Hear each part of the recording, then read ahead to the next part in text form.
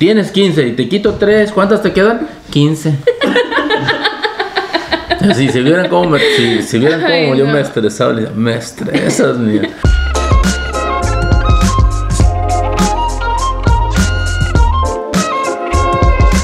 Hola a todos, ¿qué tal? ¿Cómo están? Bienvenidos de nuevo a un nuevo blog. Muchísimas gracias por estar aquí el día de hoy. Muchísimas gracias por haber dicho. ¿Qué se dice, pa?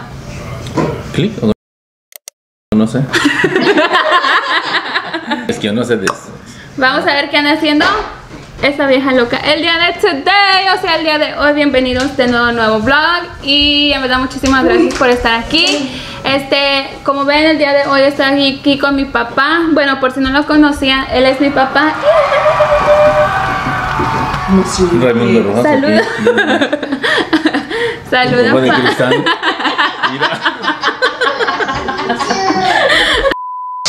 Este, el día de hoy decidimos hacer un blog, bueno, platicando con mi papá porque ya han visto que tengo un platicando con Giselle y tengo un platicando con mi mamá, entonces muchas personas dijeron, deberías hacer un platicando con tu papá, nada más que no lo habíamos hecho porque mi papá no quería hacerlo.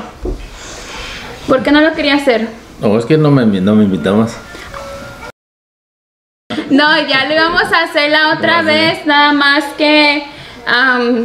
No, pues no sé por qué. La mera verdad. No, ya estábamos ahí en la casa y ya lo íbamos a hacer, ¿te acuerdas? Y luego, Sí, ocupado. no, cuando estaba ahí en la casa. No, no se crean, este, Me bueno. Como que me ponen nervioso, ¿verdad?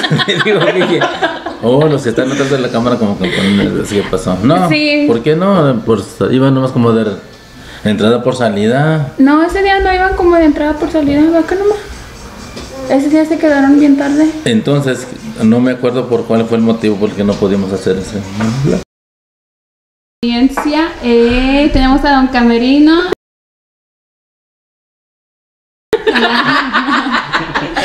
Tenemos a la señora de las señoras y tenemos a la, a la hija de la señora. ¡Eh!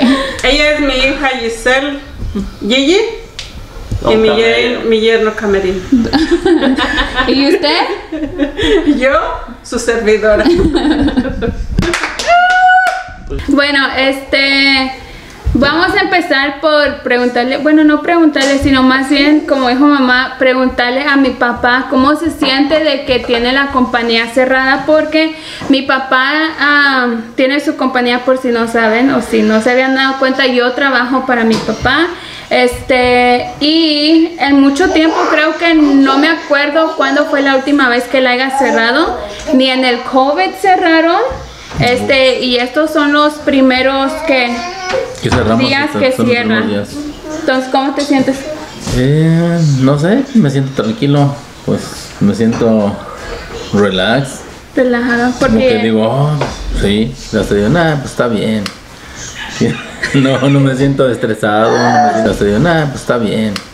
No me siento así, estresado, ya, ya miramos que no se siente estresado. no, preguntarte cómo es que tú dijiste o cómo es, ok, si tú dices, bueno, si hay alguien, ok.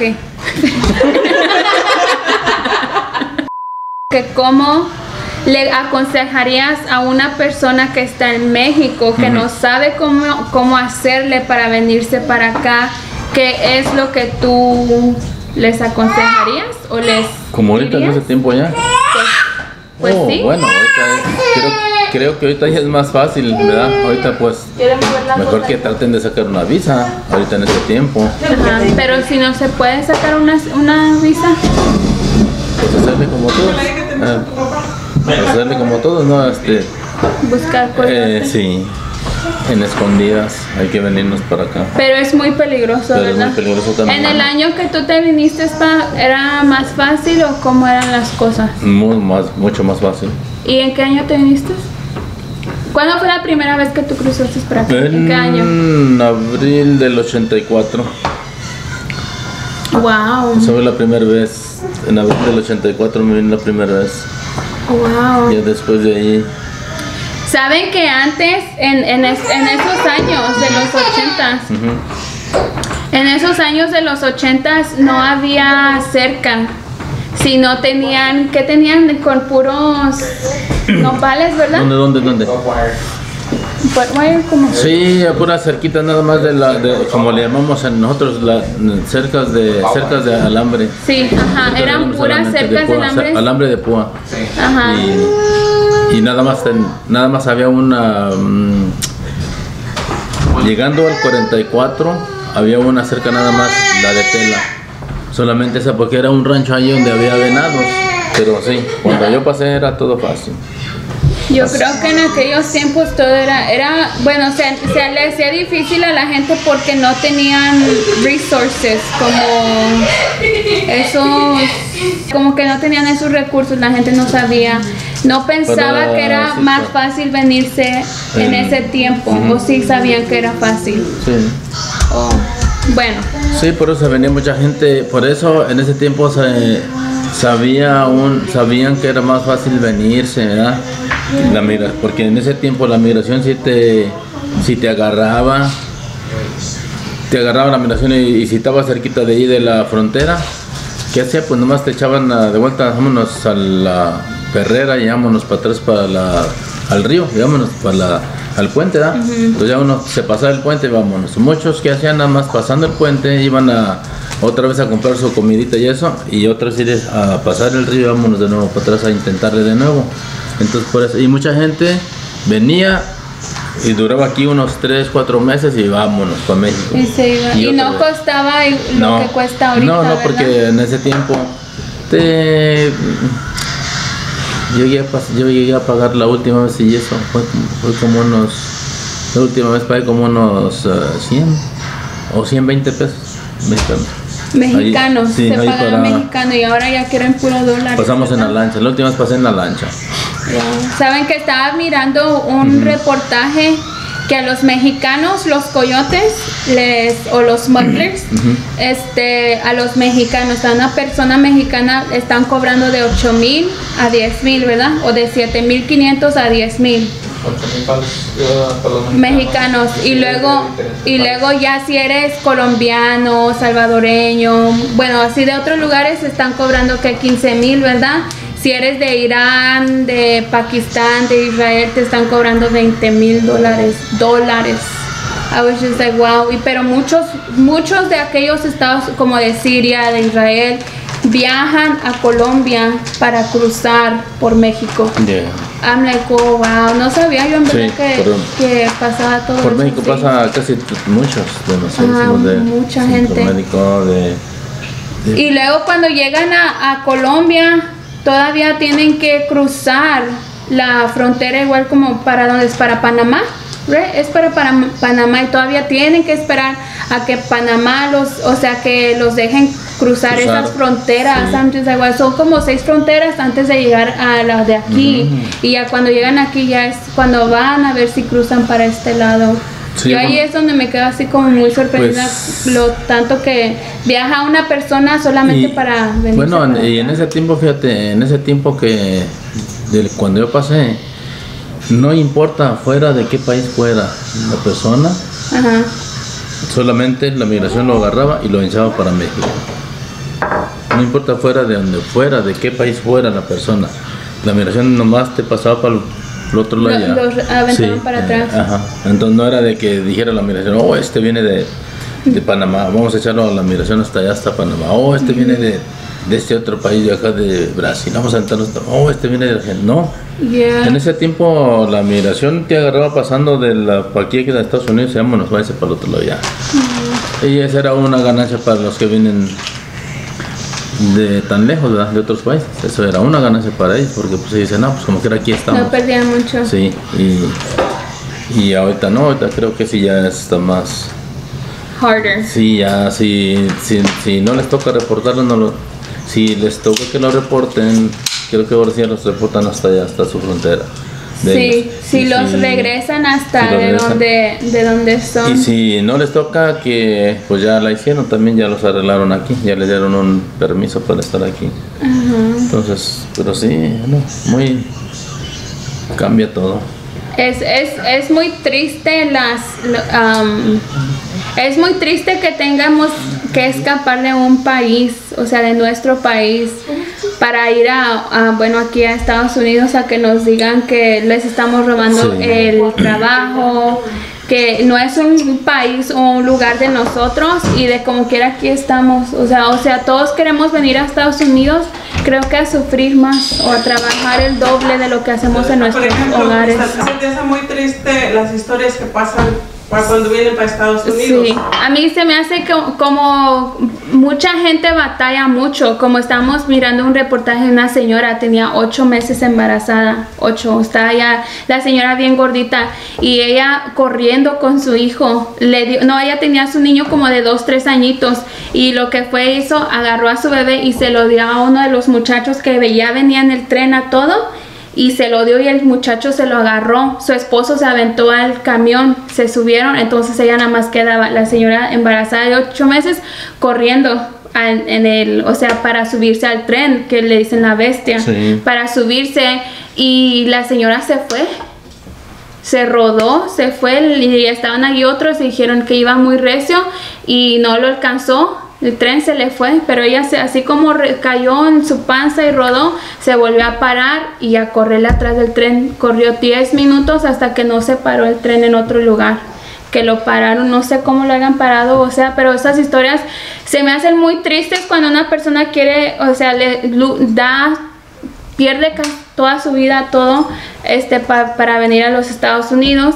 Y pues todo eso se me hace muy triste de que muchas personas pierdan su vida solamente para cruzar a este país, a donde solamente vamos a ser rechazados, porque somos rechazados.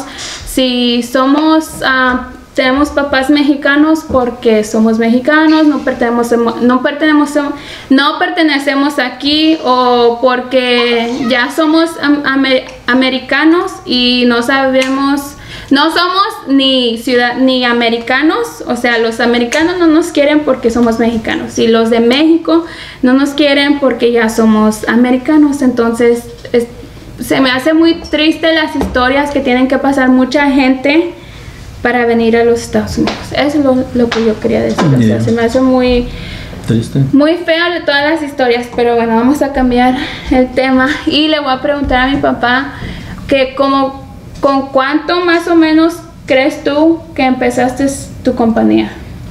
¿De dinero? ¿Y qué fue eso que, que, tú te empujó, ese empujón? O sea, que tú dijiste, ¿sabes qué? Tengo esto y mm, voy a hacer esto. ¿Y por qué tomaste ese camino o cómo? Oh, bueno, porque yo dije, pensando siempre en hacer algo, ¿verdad? Algo más adelante. Como como que yo no quería hacer el, yo no quería estar en aquella compañía donde yo estaba, ahí duré casi 17 años, 17 añitos, entonces dije, no, pues tengo que buscar algo diferente. Y entonces ya encontré a unas personas que son unas, este, unos amigos que trabajaban en esto y, y me envolví en ese, como me envolví en eso también, cuando me dijo, oh, pues es lo mismo que hago entonces, no, pues para mí no era mucha diferencia y ahí empecé. Pero dinero, bueno, sí se requiere dinero, ¿verdad? Y, suerte también, si te toca. Suerte y también dinero. suerte y dinero y, y también echarle ganas. Y, ahí, en la suerte pues también va que le eches ganas y hay que batallar. Sí, yo sé. y trabajar, ¿no? Trabajar y sí. Hay que trabajar y, y sí se batalla como quiera. Sabes, está, está, mira, me está, está mirando el video de que puso Gigi Familia Blogs, que es mi hermana. Por si no lo han visto, le hicieron una entrevista, creo que se llama el blog um, Su historia de amor. Y mi papá estaba platicando también lo mismo de su negocio, ¿verdad? Y me acuerdo, empezaron a platicar de cuando mi papá en verdad yo no sabía en ese entonces que mi papá no tenía trabajo, porque la mera oh. verdad, la, la mera verdad, yo les digo que nosotros nunca hemos batallado, nunca hemos sabido lo que es sufrir, este, nunca nos faltó un plato de comida, nunca nos faltaron unos zapatos, en verdad nosotros, yo en lo personal yo puedo decir lo que, que yo no supe o no sé lo que es la pobreza, en verdad no, no. Y fue gracias a mis papás porque los dos han sido muy trabajadores, los dos, tanto mi mamá que trabajó muchísimos años de 5 de la mañana a 2 de la tarde todo el día y mi papá igual todos los días todo el día. Y digo que todos los días porque fue no fue uno días. de lunes a viernes no siempre fue de lunes a sábado entonces no no sé pero me estás acordando en ese video que estaba diciendo que no tenía trabajo y, y que se fue a vender periódicos y estaba risa y risa mande oh cómo se llama De cómo llegó a USA. No, bueno, entonces es como fue en el blog que, que cómo llegó a USA. Este, y estábamos, me estaban mencionando lo del periódico, yo me acuerdo mucho porque andábamos todos a la carrera. A me repartiendo estaba- que se me queda la tropa. Sí, ahí. a todo íbamos ¿Quién a era la, quién, quiénes andaba ayudando? Es- Elizabeth. Oh, esa Elisa. Creo que fue Elizabeth. Pensé que era Jenny Mira. No, creo que era Elizabeth. No quiero que lo tomen como que no sabemos el valor de las cosas, porque sí lo supimos y sí nosotros, tanto como mis papás trabajaban, nosotros teníamos nuestros quehaceres aquí en la casa y este teníamos que ser responsables también y sí éramos muy responsables. Bueno, yo pienso que sí éramos bien responsables, dama. Enrollando a la ple- plebe y a las dos, la una y media.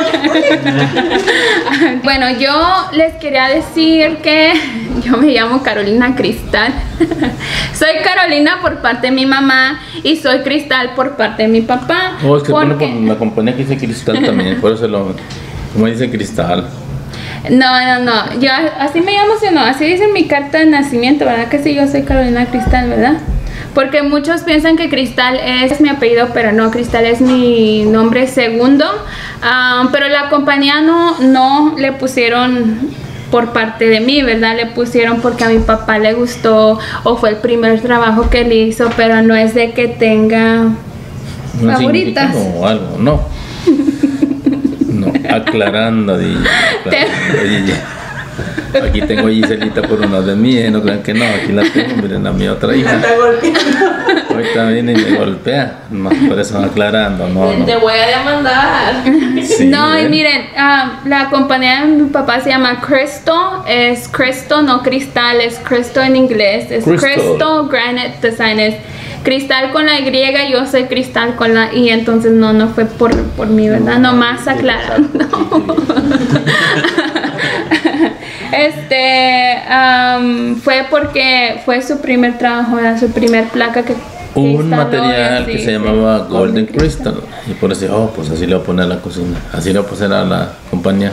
Sí, miren, a mí, a mí siempre que van los clientes me dicen, me dicen, oh, nice to meet you, ¿cómo te llamabas? Yo, Cristal, hacen, ah, Cristal, y ya, ¿verdad? Les cambia el tono porque piensan que les voy a dar mejores precios o piensan que soy la dueña o algo así, le hago, no, no soy la Cristal, pero soy Cristal.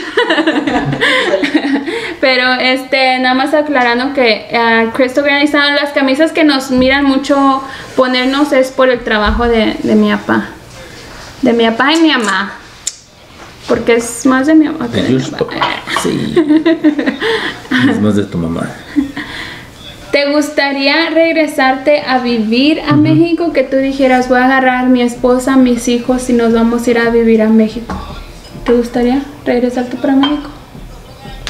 No creo. Yes or no? No, la verdad, pues ya, ya tengo más años aquí que en, vividos aquí que los que vivía allá. En México. Sí, cuando voy, solamente voy por dos semanas y ya me siento desesperado. Oh my goodness, son tan hamburguesas. Pero porque tienes un trabajo encima, pienso. ¿Mm?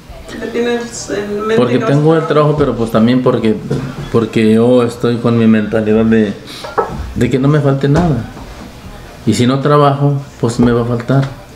Yo estoy con la mentalidad que en México no va, si en México me pongo a trabajar, no, no es que voy a estar con la misma comodidad como la que estoy aquí. ¿Me entiendes? Entonces Pues yo pues sí. soy con mi mentalidad, oh, ya son dos semanas, ah, ya me voy. Pues para estar cómodo y no estar estresado, ¿verdad? De que no tengo dinero para esto, de que no tengo para esto otro, no.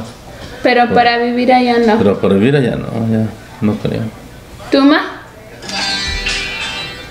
Poner una buena casa y un buen carro. Pero para vivir sí. No, Vas a entrar por ir y Hay que ser honestos, sí, yo, yo les digo. No, miren, aquí todo está, gracias a Dios, uno tiene más, más aquí en sus manos, más, en- más comodidad de todo. Del- aquí si tú no comes bien, si no comes saludable es porque tú no quieres, no es porque no puedas. Aquí con el trabajo de un día hasta puedes hasta puedes eh, comprar muchas cervezas y no te las acabas también. También sí. Eh, aquí con el trabajo de un día te compras unos zapatos. Oh, sí. Y en México no vas a hacer eso. En México es muy diferente. ¿eh? Me acordé, me acordé. Cuando yo trabajé, nomás para que vean. Ah, aquí yo ahí trabajé está, ahí en los chiles Sí. con, con un señor. Diría su nombre, pero luego no, ¿verdad? Luego, ¿qué tal que si sale ahí se acuerda de mí? Este, trabajé en los chiles con un señor. ¿Y saben qué pasó? Yo con, con ese dinero de esos, de ese, de esa semana me acuerdo muy bien que me pagaron 500 pesos, ¿verdad? Ok, me pagaron 500 pesos mi fin de semana.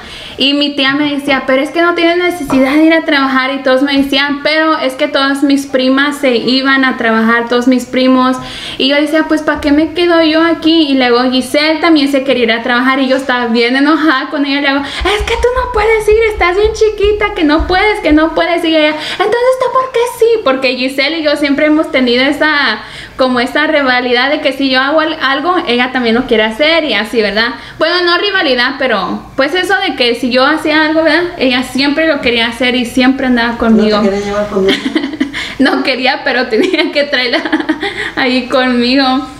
Este, bueno, me fui a los chiles, trabajé en los chiles, este, y me pagaron 500 pesos. Y yo me acuerdo muy bien que Giselle quería que le comprara unos zapatos a ella, y yo decía que no tenía dinero. Le hago, es que no puedo, nomás tengo para unos zapatos. Le hace, entonces tú, ¿por qué te los vas a comprar? Es que yo los trabajé, yo quiero unos Converse, yo me los voy a comprar yo. Le hace, pero yo también quiero unos. Le hago, ya que nos manden mi mi mamá, te compramos uno. Le hace, no, pero nos, esa vez nos estuvimos peleando, pero se, nos, se me fue el dinero en un par de zapatos. Yo dije, oh my god, hago, no manchen. En verdad, uno trabaja toda la semana nada más para una sola cosa. O compras zapatos Sí. o compras comida. Y yo en esa vez sí me quedé así como de wow. Y en verdad yo siempre he tenido problemas con mi espalda porque cuando estaba chiquita tenía problemas y pues le habían dicho a mi mamá que no iba a poder caminar o correr o no sé qué. ¿verdad? Bueno, pues algo. Correr. Correr, correr, que no iba a poder correr y, y siempre iba a tener ah, problemas con la espalda. Y sí, siempre Con los me, duele, me duele mucho la espalda cuando duro mucho Con agachada. los pulmones. ¿O con los pulmones? Con toda la espalda. Sí, sí, pues de los pulmones. Bueno, sí, y, y en ese entonces sí lo sentí, nunca lo había sentido porque yo corrí soccer, hice cross country, no sé cómo se diga en español, no sé cómo se diga, pero hice cross country, hice track y nunca me molestó mi espalda, siempre fue muy bien, pero hasta que no fui a trabajar en los chiles, allí fui cuando me sentí que mi espalda no, ya me andaba muriendo y mi tía mía, me acuerdo muy bien que mi tía a mí que nos, ah, no sé si mandó a Dani o a Gigi que me fue ella a comprarnos unas pastillas, pero así fue la única ah, solución para la espalda. Entonces sí está muy difícil allá en México. Sí, en verdad. Esas- es vivir así o trabajar así. Y este, pa tú, ¿a quién piensas que me parezco yo? ¿Cómo quién te pareces? Oh. ¿Será tu mamá? ¿A mi mamá? Porque mucha gente dice que sí me parezco a mi mamá, pero también mucha gente dice que me parezco a ti. Será. Pero yo también digo que me parezco mucho a la familia de mi pa. O sea, yo siento que yo me parezco solamente a mi mamá. Solamente a ella. Por, bueno, pues a quién más me va a parecer mi mamá, la única mujer de cinco varones. Este, pero de mi familia casi no me parezco a la familia de mi mamá, me parezco mucho a la familia de mi papá. Siento que todas, casi todas mis primas nos, pa- nos, nos parecemos, ahí tenemos un parec- parecido todas. O, sí me parezco a mi mamá, pero también me parezco mucho a la familia de mi papá, ¿verdad? Y Giselle se parece mucho también a la familia de mi papá, pero ella se parece a mi abuelita o a mi, a mi mamá. No a mi mamá, a mi mamá, a la a mi mamá de mi papá. Sí. Ella se parece a mi abuelita Ángela. Y mi hermano sí es foto idéntico de mi mamá. Y los gemelos, ¿quién sabe? Se parece al- Ay, ¿cómo? sí, este, pero sí, am, ¿qué? Se parecen a. Miren, e- es, am, no quería hablar de esto, pero sí les voy a contar, ¿verdad? Mi papá, ¿para cuándo te diste cuenta que tenías el diabetes? ¿Cuándo te diste cuenta que tenías Me va a dar de vuelta, eh. Órale. Oh, pues me di cuenta en el transcurso de la noticia inesperada de que tú estabas embarazada. Sí, que fuera culpable. Bueno, no, no, no es que yo ya lo tenía, ¿da? pero no. No el- sabías. No, yo pienso que en ese, en esos días me di cuenta yo. Es que le dolió mucho. Yo no sabía cómo decirle. Me dolió el corazón. ¿Cómo le dijiste? No, George le dijo. ¿Cómo le dijiste? Pero mi papá Presenten estaba. al cuñado, sáquenle una ahí también. Yo quiero saber cómo le dijeron. Mi, mi papá estaba muy. ¿Eh?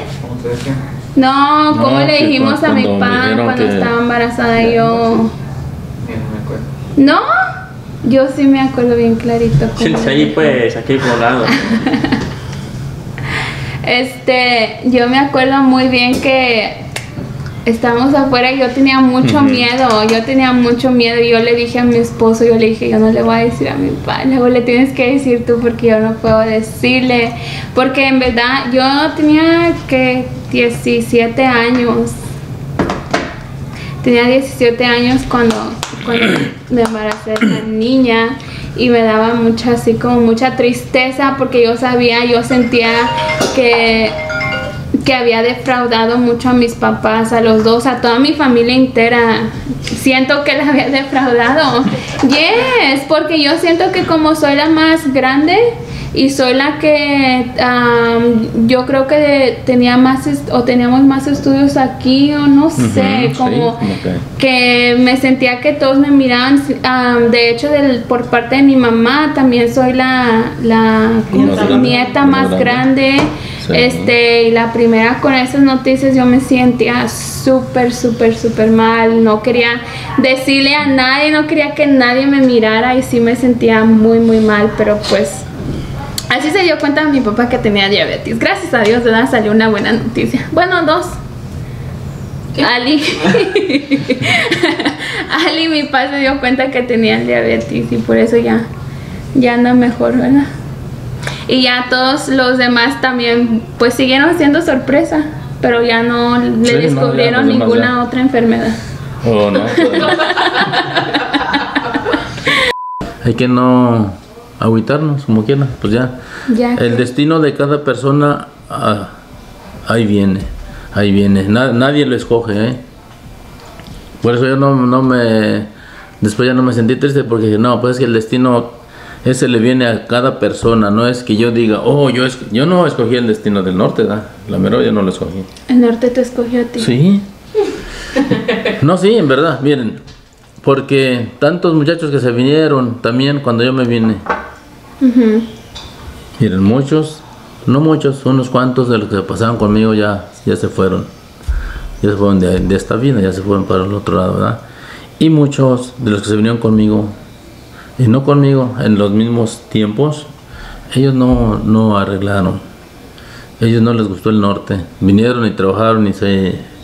O hasta el momento a veces vienen como por ahí de vez en cuando, ¿verdad? Entonces por eso, pues el destino es de cada persona, ya le viene a uno. No es que uno lo escoja. Si, si mi hija no fue esto y esto, lo que yo quería, es porque su destino es, es otro, no es el que yo quiero. Es ser el destino es de, Nada más que todavía no me llega el contrato de Univision. No, Estoy actriz. esperando. Esa actriz. Bueno. Bueno, pero está bien también soñar, ¿verdad? No es. No, no cuesta nada soñar. Y hay veces que también los sueños son se hacen realidad. Así de que también hay que no. Porque también los sueños se hacen realidad. Hay unos sueños que sí. ¿Verdad? Por eso hay que echarle ganas. Ahí quedó un poquito más de mi papá. Mi papá y la chona. Bueno, mi papá. Que no se este. ¿eh? Demos- a ver, demos la información del monocal, ya que toda la gente nos está pidiendo. ¿Monocal? Ajá. Oh. Nos estaban preguntando a nosotros cómo se podía. Pero mejor que lo- Ok. lo, digan ustedes. No. Yo diría que ese debería de ser todo un video completo Se me hace diferente. que sí, hasta les enseñé las cajitas y se las Sí, puse pero así. no, no están los precios. La cajita para el. No, no están ahorita, no, ya me las terminé. No nos ha llegado. Lo que pasa es que ahorita el, ese- el producto como que lo están atrasando mucho, no, no nos, es- nos está llegando así constantemente. Por lo mismo. Por lo mismo que por lo, por lo del COVID. Bueno, es, pues más bien por lo del COVID, este, los productos se están... Pero ¿cuánto Se se gasta están- más o menos en un mes tomándolo? Como usted que lo toma en la mañana y en la tarde, ¿cuánto es lo que se gasta? eh, son como unos 300 dólares, ¿no? Me estoy, sí. ¿Al mes? Estoy 300. como... No. Como por un paquete, como un paquete de, del Planium, del... Por eso digo que tiene que ser Son un tres. video específicamente para eso porque es es bien es, es bien es, es bien confuso. Para darles... Es bien confuso una- las cosas y tiene que haber un pizarrón para explicarles, para que ustedes sepan, para porque si es un poquito complejo Sí. toda la explicación, porque yo hasta yo que me lo platicaron yo no podía entenderle. porque se puede ganar también al inscribirse ustedes pueden ganar, pero como les digo, yo siento que debería de ser Sí, también, bueno, yo no lo hice por, por ganar. ganar, ¿no? Yo no lo hice por ganar, yo lo hice por estar los beneficios. saludable, ¿verdad? Yo dije, lo que gane eso, pues no le puse yo mucha importancia a eso, simplemente yo dije, no, yo le voy a poner atención para los, para los beneficios, pero para mi organismo. Sí, y mi papá no es un- una persona de productos. Mi mamá sí, como que uno dice, "Nah, pues ya ni le creen a la señora, ¿verdad? Porque todo se toma y todo le hace provecho, y luego ya nada le hace provecho. Pero no, mi no- papá no- no es muy de, no es mucho de productos, no es mucho de creer en los productos. ¿Se acabaste? Yo sí. Este, ok. Ah, bueno, nos despedimos. Sí. No, yo no sé. Nomás diles. Miren, como eh, siempre me dicen mis niñas y que no sé yo entrar en estas cosas de, de entrevistas y esto, no sé nada, porque yo solamente sé de lo que es del rancho. Imagínense, y, y me ponen estas cosas enfrente, ya estoy como la India María. Ah, me- yo me espanto solo, me estoy mirando oh my god. Sí, no, yo no, no sé de entrevistas, yo la mera verdad. Ay, Ay, disculpen por sí, la... no. Vean de ver, antes cuando empecé a trabajar con él, mi papá quería que hiciera todo a mano y se lo hacía todo a mano. Y cuando empecé a meter computadora y papel de computadora, uh, hubieran visto que andaba bien Por regañada. ejemplo, sí, todas esas cosas que me metieron ahí en el shop, que, que la computadora y que es eso, y yo antes era de puro lápiz y que la copia, no, yo lo hacía con lápiz. Entonces, este, no hombre, me... Los yo- mapas, todo sí, a mano. Yo que, lo, que los mapas, yo le dije, oh, mira, te vas por aquí, donde el nopal ese. Y tú, no, pues fíjate que mira, ahí donde está el mezquite ese, allí le das vuelta a la derecha y donde sí, sí, a la derecha y ahí vas a ver una, una, una casa azul y el- resulta que todas las casas eran azules, me lo bien enojar los muchachos. Dice, no, oye, pues aquí todas las casas son azules. Y yo decía, oh my god, ahora qué les diré, ¿cuál será? Mm, Es que yo todas soy como los de que, de que la computadora, hombre, tú dame, la, dame el pico y la pala y yo hago la zanja, le Sí, no Siempre ando con eso. La tecnología. Mm, No me gusta porque no, no le entiendo. Pero no le entiende porque no se quiere sentar a aprender. ¿Será? Porque sí puede saber. ¿Verdad que sí? Mami ma ya sabe sacar los invoices. Que le voy a intentar porque de veras que ya. Irene, ¿y qué tal que me enseñes? Pues hasta las ando despidiendo. Ay, mejor no, mejor no. Mejor Luego después, de los- luego después yo voy a saber todo y voy a decir, deja ver, hombre, estas niñas no hacen nada, hombre, eso yo lo hago de volada, ¿verdad? Mejor Si- no. Si de por sí casi así les digo, yo no hago, mm, no sé hacer esas cosas y les digo, no, hombre, eso yo ya lo hubiera hecho, te quiero saber. Pero me dicen, pues hazlo yo nomás, y nada más me quedo viendo la computadora y le hago, oh, ahí vas bien, ahí vas bien. Tú síguela, ya me lo terminas. Sí, pero no sé nada de eso, de tecnología, yo, la mera verdad. Es que no estudié yo, escuela no, no estudié yo, la mera verdad. En otro platicamos más y verán cómo mis historias, cómo son. Bueno, mi, mi papá estudió más que mi mamá. Mi mamá solamente estudió hasta el tercer grado. No, primero, segundo y tercero la mitad. Tercero a la mitad. Bueno, yo de, de elementary, que es la primaria, ¿verdad? No, bueno, yo sí salí de, de la primaria, para que le digo que no, sí salí de la primaria, este, eh, estaba chiquillo, yo tenía como unos 16 años se me hace, cuando salí de la primaria, me acuerdo, y yo, yo estaba como grande y miraba a los demás más chiquitillos, y pues yo tenía 16 años, y, ah, chivo, de esos años salí de la primaria yo. Bien. ¿De? Güey, de la primaria. Sí, ¿Por qué duraste tanto así, Por pa? reprobó, reprobaba. por inteligencia. Es que... Tanto que me jalaban No sé las si- orejas por no sumar dos más dos. No, bueno, pero fíjate la diferencia. Yo a ti te estaba enseñando y a mí nadie me enseñaba. Ese fue el detalle. Entonces, bueno, los maestros me enseñaban, ¿verdad? Pero pues no es lo mismo cuando te dice aquí tu papá, eh, mira que esto y esto, que te pone cinco piedritas y Y te pongo quitas- dos, y te pongo otros dos. Oh my god, que te le ponía. Mira, le, pues, le decía, y como yo cuidaba borregas, se me venía siempre en la mente la. Tienes 15 borregas, te quitaron 3. ¿Cuántas te quedaron? 15. Oh my god. O sea, dice mi hija, tienes 15 borregas y. Tienes 15 y te quito 3. ¿Cuántas te quedan? 15. Si se vieran cómo, me, si, si vieran cómo Ay, yo no. me estresaba, me estresas, mía. Así está con mi Sí, me acuerdo conmigo Ay, nada más. ¿Con quién más Yo Sí. no, yo nomás, porque Giselle, pues ella era bien inteligente, desde los dos años creo que multiplicaba, hacía divisiones y todo. Sí, creo que. Nada. Sí, no, hombre, y esa, esa, esa- creo que sí, ya.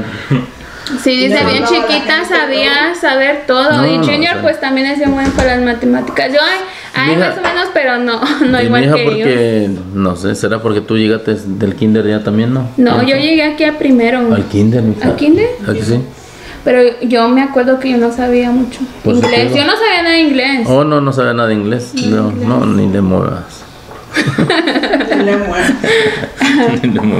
No, Pero sí, sí. sí, me metí mis añitos yo en la primaria, ¿para qué les digo? Y entonces por eso. Y este, no, no, pues este. Antes, gracias a Dios que tengo este trabajo, ¿verdad? Pero Y no. sabe escribir y leer y firmar. Ay, ya le sé copiar su nombre también, su firma. Ya ven, les digo, pues, no me, no me sé una firma. Es que no me sé una firma yo acá chida como de acá de un- La de mi mamá no se la puedo copiar. Por eso les digo que el, el destino no se les, no se lo no se lo busca uno porque cuando yo estaba chiquito, yo tenía mis cinco años y yo siempre me peinaba así para atrás y decía a mi mamá, ¿por qué te peinas? Le digo, porque cuando yo sea grande le digo, yo voy a ser al licenciado. Yo a ver qué licenciado fui. Ni ya vieron ni mi nombre sabía Ni ponerme. pelo tienes Y para. ni pelo tengo, ni pelo tengo para peinarme, miren. No más, pero sí me lo pelaba, sí me siempre hacía, me lo echaba para atrás. Mi papá tenía siempre pelo largo. Yeah. Voy a buscar unas fotos y se las voy a poner ahí para que lo miren de joven. Ya, tenía el pelo largo. Te voy a hacer el pelo acá con marihuana. No sé, eh, pues es que casi todos los que son de mi edad saben la... El look, si, si, el si se acuerdan, ¿verdad? Que queríamos an- andar como este Marco Antonio Solís, que queríamos andar como Rigo Tobar, queríamos andar como Juan Graviel con su pelo también chino, queríamos andar como Napoleón, Aquí tu papá tiene quemado. queríamos andar como este... Joan Sebastián también tiene el pelo chino. Queríamos andar como Diego Verdaguer, yo tenía el pelo así como todo y yo me lo hacía chino hasta que me quemé aquí, miren, por andar rechinándome, por tener, quería hacer el pelo de chino y pues me, Me enchiné. Ya no se ve. Aún así me quemé aquí el mal de pss, oyó. Pero sí, todos los que son de mi edad saben bien del pelo que usábamos largo, que de Michael Jackson y todo ese. No, hombre. Si vieran los Viera. queriendo como los Acosta que tienen su pelo largo también. Todo eso, así andamos con el pelo. ¿Qué pasó? Largo, nos vamos a tener que despedir. Ok. Bueno, porque ya se va a este. acabar la pila.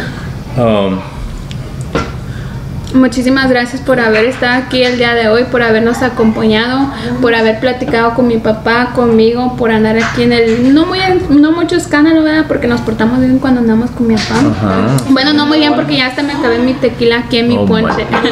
este, no, muchísimas gracias por haber estado aquí con nosotros. En verdad espero les haya gustado. No olviden dejarnos su like por ahí, dejarnos sus comentarios por abajo. Suscribirse si aún no lo han hecho, si aún no lo han hecho y si ya están aquí una vez suscríbanse, no les va a pasar por aquí.